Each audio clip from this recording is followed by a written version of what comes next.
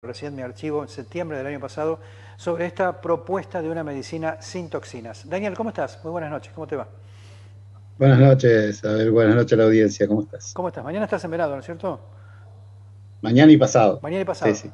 De acuerdo, de acuerdo. Bueno, eh, había quedado pendiente, si recordás, este, en septiembre, cuando charlamos por última vez, que mm, cuál era ¿no? Este, la aproximación de esto que estás propugnando desde el punto de vista médico en este tema tan, tan importante ¿no? y tan inquietante para muchos que es este, o son las patologías de deterioro cognitivo, ¿no? demencia senil, Alzheimer, etcétera, etcétera. ¿Qué se puede decir desde tu, tu mirada, de tu postura, doctor? Bien, primero, eh, tener más o menos en claro que no todo síntoma de que empezamos a olvidarnos de algunas cosas eh, tiene que ver con el Alzheimer. Bien. Existe un síndrome que se llama síndrome de actividades múltiples. Ajá. Es muy simple, es muy simple de explicar porque tiene que ver que con nuestro cerebro, que no ha evolucionado en la historia de la humanidad, eh, queremos hacer cosas 20 cosas a la vez, entonces, bueno, es lógico que nos olvidemos de algunas cosas. Entonces, primer mensaje, consulten a su médico, explíquenle bien, díganle en qué, en qué situaciones esto se produce. No, no se queden con lo que les dicen, hablen con un profesional de la salud. Y con respecto a las nuevas miradas dentro de la medicina biológica del, tratamiento, hoy se trata desde tres puntos. A ver. Eh, desde la circulación, desde la actividad neuronal y desde la nutrición. Porque hay un principio biológico que es muy claro, que dice que hay siempre un problema nutricional. Si tenemos en cuenta que en líneas generales los llegados a una determinada edad, 60 años hacia arriba, eh, tenemos eh, trastornos en la absorción intestinal y necesitamos vitaminas como la B1 o la B3 que son transportadoras, mineral, minerales como el calcio, el selenio, el zinc, el fósforo, el magnesio, todos minerales que necesita nuestro cerebro. Si nosotros comemos y no tenemos el primer paso de la nutrición, no tenemos una absorción adecuada en el intestino delgado, vamos a carecer de esos nutrientes, por lo tanto, vamos a tener una alteración, pero por déficit, y no porque estemos mal realmente. De hecho, la sociedad americana eh, ya está hablando de empezar a suplementar nutrientes a partir de los 37, 38 años debido a, la mala alimentación. Eh, ¿Y esto cómo se determina a partir de tu método? Es decir, ¿cómo, cómo, cómo puedes llegar a la conclusión de que existe una carencia de determinados elementos? Eh, hay que, este, en fin, nosotros, nosotros utilizamos, yo utilizo en mi consultorio un analizador cuántico que me mide el estado de circulación a nivel cerebral, me mide la actividad neuronal, me mide la memoria, me, mide las actividades neuronales, como la capacidad de resolver mm. determinadas eh, situaciones, como resolver cuentas, por ejemplo. Y por el otro lado, me habla de todas las carencias, me, las, me cuenta todas las carencias y por otro, eh, como punto final me dice cómo está el sistema digestivo para saber si tiene un trastorno de absorción. Entonces ahí está visto de forma completa esto. Esa es la única manera que uno tiene.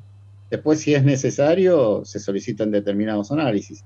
Pero en líneas generales, con un bioescáner uno tiene un panorama, más la clínica, obviamente, que presenta el paciente y lo que nos cuenta. Claro. Eh, ya tenemos un panorama bastante claro como para tratar. Daniel, el método, recordemos esto, este, el método es, digamos, diagnóstico, es preventivo, es terapéutico, eh, las tres cosas. ¿Cómo lo podríamos decir? El tratamiento, el tratamiento es netamente, el estudio es netamente diagnóstico. Diagnóstico. Nos lleva a entender bien bien el problema. Bien. Pero por el otro lado, los tratamientos biológicos eh, están orientados a, mejorar y estabilizar los sistemas. O sea, hoy, te digo, tenemos un, montón de posibilidades terapéuticas. Eh, no solamente la suplementación, sino también el advenimiento de, de la llegada a la medicina biológica de las células madres heterólogas, que son, siguen siendo sacadas de animales, pero son células madres, sacadas de, tejido del sistema nervioso central, eh, es un complejo que tiene células del sistema nervioso central, osteoarticular, inmunológico y tejido de sostén como un tejido placentario y tejido mesenquimático. Entonces, eh, eso es una propuesta terapéutica muy interesante, con muy buenos resultados, que estimula todos los sistemas y bueno, se ayuda mucho. ¿Qué ocurre cuando hay un daño estructural, este, Daniel? Como por ejemplo post-ACV, por ejemplo, o alguna situación de ese tipo. Eh, ¿qué, rol le cabe a, tu método? Mirá, eh, el doctor Fratini, que fue uno de los mentores de todos estos tratamientos hace casi 100 años, siempre decía que mientras haya una célula viva hay posibilidad de tratamiento. claro. sí, sí, porque por lo menos vamos a activar la que queda. O sea, eso es lo, que él planteaba. Y no deja de ser cierto, o sea, es, verdad, porque cuando vos tenés eh, menor, eso, por ejemplo, un post-ACV, vas a tener menor cantidad de neuronas. Exacto. Y estimular la, la conectividad entre esas neuronas y tratar de establecer un nuevo equilibrio en el organismo, que de eso se trata, por lo menos lo vas a poder llevar bien y mejorando la circulación también tenés menos posibilidad de que el episodio se repita. O sea, hay muchas posibilidades para ver en eso. Obviamente que hay casos. O sea, cada, cada, paciente es único, ¿no es cierto? claro, si estamos hablando de una persona, o sea, si vos tenés una persona que mm. no tiene capacidad motriz, capacidad sensitiva, no tiene comunicación, o sea, no. No tiene ningún sentido intentar algo porque no vas a poder hacer nada. Eh, finalmente, Daniel, ¿qué ocurre con los procesos oncológicos? ¿no? Es decir, eh, ¿existe la posibilidad del diagnóstico? Este, estoy pensando, qué sé yo, por ejemplo, eh, en, los, tumores estadísticamente más importantes en nuestro país, próstata, mama, colon. ¿Qué ocurre en esos casos? En esos casos, el, el bioscáner, lo primero que me va a tirar son es un déficit inmunológico, de eso ni hablar. Y un deterioro muy importante en la funcionalidad de ese órgano. Entonces, vos vas a ver ahí que hay un riesgo en ese, en ese órgano. Cuando yo encuentro ese riesgo en ese órgano, lo que hago y le digo al paciente, mire, si no tiene, suponte que es una señora y no tiene, viene a consultar por otra cosa. Y veo algo que no me gusta y le voy a decir, sin asustarla, decirle, mire, vaya a su ginecólogo, hace todos los estudios, lleve los anteriores, compare, porque acá hay algo que no me da, y le voy a pedir, obviamente, los análisis, le, pediré, le pediré un CEA, le pediré un, un CEA 15-3, o sea, lo que corresponda, fosfatasa alcalina, lo que corresponda, actividad tumoral, para ayudarla y obviamente que la derivo a su profesional de cabecera. Perfecto. Si viene con el diagnóstico hecho, es mucho más simple porque yo puedo, o sea, viene a buscar un tratamiento, eso es otra cosa. Entonces, si viene a buscar un tratamiento, hay varias alternativas para manejar, depende del estadio. Es muy importante estadificar. no es lo mismo tratar a un paciente con quimio que sin quimio, no es lo mismo tratar a un paciente que tiene una lesión localizada a que tenga metástasis. Son todos eh, tratamientos distintos. Esto que me estás comentando adelanta la pregunta que iba a hacerte, que tu tratamiento es perfectamente compatible con otro tratamiento convencional y que incluso puede potenciarlo o este, preparar mejor el terreno de ese paciente para, por ejemplo, resistir la quimio, ¿no? que sabemos no es poca cosa. Sí, sí, sí. o sea, eh, mm, disminuye en el, en el contexto de todo el tratamiento, se incluye la detoxificación de las cargas químicas de, los, de la quimioterapia. Claro. Entonces vos ves dejás cursar la quimioterapia, el paciente recibe el tratamiento, pero vos le modificás el medio, lo que se llama terapia terreno, que es el, punto uno, digamos, la primer pata, le digo yo siempre, de, un tratamiento biológico. Entonces de esa manera lo podés ayudar. Y hoy está, vos fíjate que la oncología convencional hoy está orientada a la inmunoterapia. Totalmente.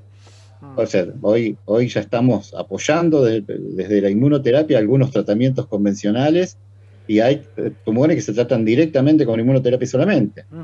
Bueno, acá lo que se hace es eso, tratar, o sea, trabajar en inmunoterapia para ayudar o coadyuvar, digamos, en el tratamiento que está haciendo el paciente. Para terminar, Daniel, mañana ya que estás en mañana y pasado que estás en Verano Torto, ¿dónde estás? ¿Dónde vas a estar? Estoy en Inticen, en Hipólito Yrigoyen 1115. Perfecto. Es Hipólito Yrigoyen entre La Valle y este, ¿cuál es la otra? Bueno, la Escuénaga. Ascuera, exactamente, la Valle de Ascuera. Así es. 11.15. Eh, ¿qué, horario, ¿Qué horario vas a tener atención? Mañana empiezo a atender al mediodía, creo que a la una más o menos. Y, y, después el viernes todo el día, de las 8 de la mañana. Perfecto. Pero eh, lo ideal es que se comuniquen porque hay, crean, crean, hoy publicaron que quedaban pocos turnos. O sea, es, un tema. Es un tema, Venado. Eh, claro. En todo caso, que este, busquen en. ¿dónde, ¿Dónde se encuentra? Inticen, por ejemplo, en Facebook. Inticen en... Facebook, en todas las redes está como Inticen. Inticen con Z, Inticen, ¿cierto? Exacto, Inticen con Z. Exactamente. Gracias, Daniel, un abrazo. Gracias por estos minutos. ¿eh? Perfecto, no, gracias a vos, gracias a la audiencia y bueno, nos mantenemos en contacto si Dios quiere. Buenas noches. chao, muy buenas noches.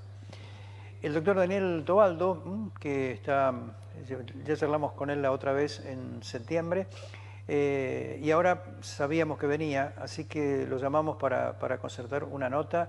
Está eh, realmente muy ocupado, su, residencia es Rosario, pero mañana estará en Venado Tuerto. Bueno, eh, lo interesante es su método, ¿no? el método de trabajar sin toxinas y algunos otros elementos muy interesantes que estuvo recién conversando con nosotros, compartiendo con nosotros. Nos estamos yendo. Mañana, si Dios quiere, a las 8 de la noche nos reencontramos aquí en VerTV, claro, con nuestro Fuera de Agenda. Nosotros nos vamos, pero ustedes no, se quedan porque ya llega Noticias en HD con Emanuel Fuertes, con mucha información todavía para compartir. Hasta mañana, muchas gracias. Una producción de Multimedio GS.